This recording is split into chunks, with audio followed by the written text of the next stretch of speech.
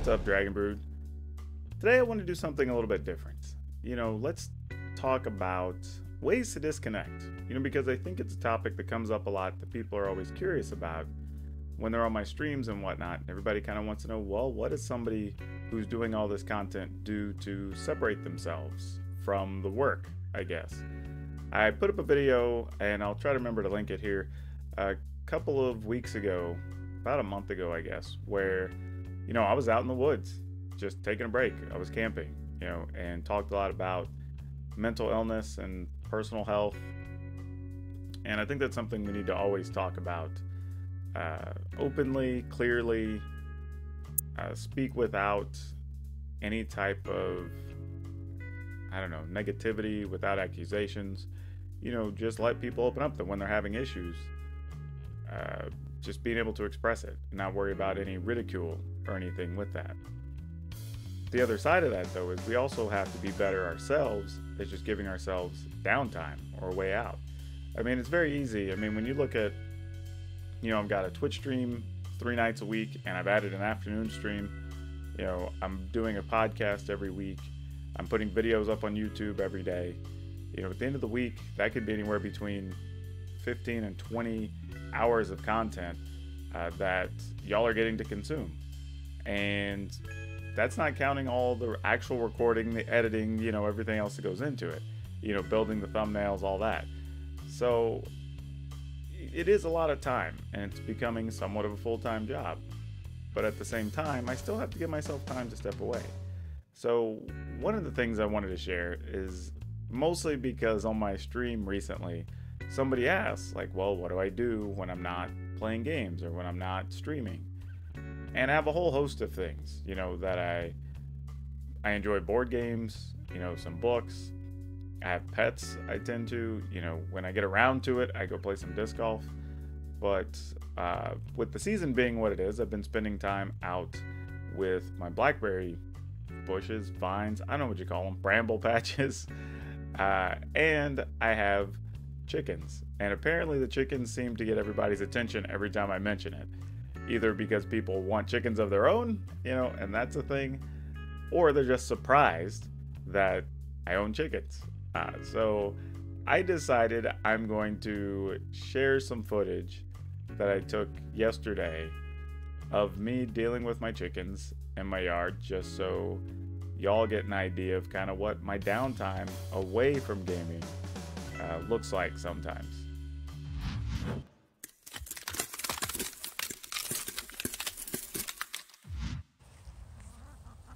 people always ask if we have chickens, so I figured I would let people see all of our ladies. Though I know y'all are bothered we don't have snacks right now. Well, there's all six of them. I think you've seen them somewhere in the video so far. Um, actually, you know what? Here. See, they follow us around like puppies. So if you've never had chickens, you probably don't understand that uh, they are trainable. Uh, they're not the smartest things, but you know, basic things like fear, food, whatever, all make sense to them. Uh, so here, I'm just getting some chicken scratch, just give them something to snack on, which is basically just like seeds and stuff, kernels.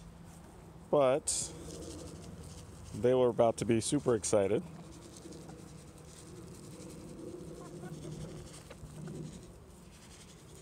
Uh, and they are very food motivated. They will practically murder each other.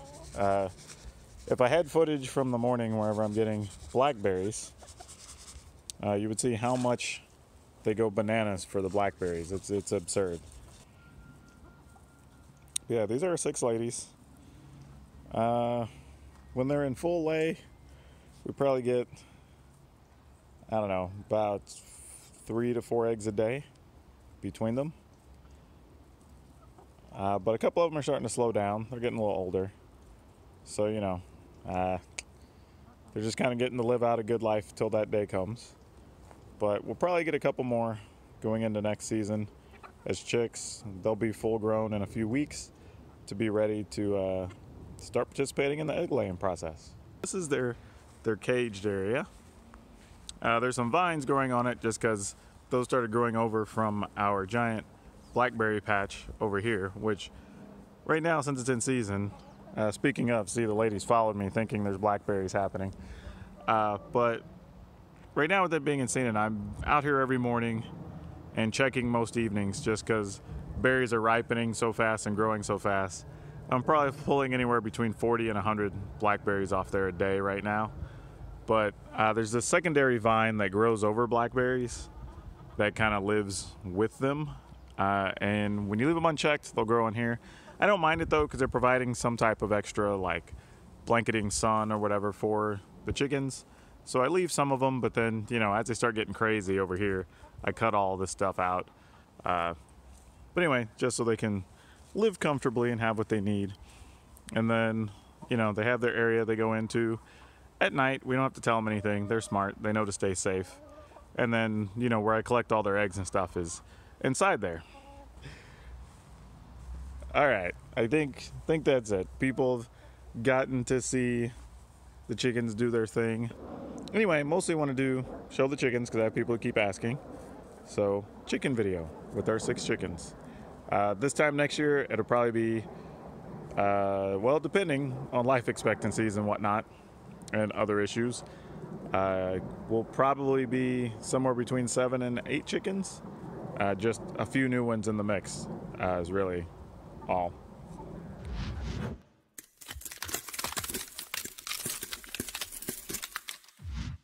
So yeah, those are little runts that get in my way every time I go out to do yard work and stuff. Uh, we normally I have space I can keep them separated, so they're they're not at risk at any point. But the biggest thing is, you know, we're talking about, especially right now in this new like post-COVID world, while especially in the U.S., while we're still trying to get over it, and you can't do all the things you would normally do. You know, I I'd go down and play some basketball with people periodically. Like I've not done that in months. But you can still walk around your block. You know, like I said, play with your pets, do some yard work, do some gardening, bake. Uh, you know, reading books, just getting out the house, even if it's just going and sitting in a park by yourself. You know, just enjoying the outdoors. I mean, there's a lot of things you can do still that don't require engaging with a bunch of other people physically and still give you a chance to step away. Like, it's important because, one, just for your mental stress, right? Just even if you're like, hey, I've got this deadline, I got to get this thing out, you know what? If your thing's a couple hours late, or you don't put up a video today, or your stream starts 15 minutes late, so what? It'll still be there when you get back. It's not worth the personal stress, anguish, anguish, whatever you're going to put yourself through. You know, it's it's important to maintain your schedules, yes, but not to the detriment of your personal health.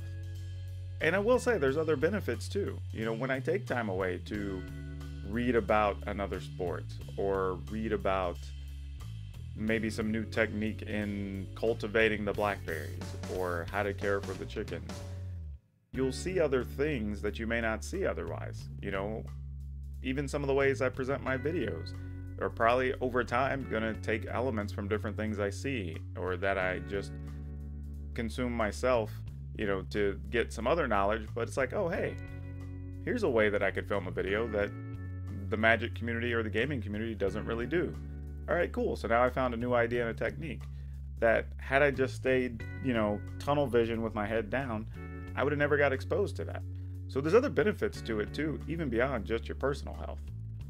But more than anything, take care of yourself. You know, your community members that appreciate you, that do actually care about you or are interested in you and your well being are going to be totally fine when you come back. The ones that aren't, well, to be honest, you probably didn't need them part of your community anyway. So that's all I have for you for now. Remember to like this video, subscribe to the channel, hit that notification bell, and I'll get back to my regular content tomorrow. We'll see you next time.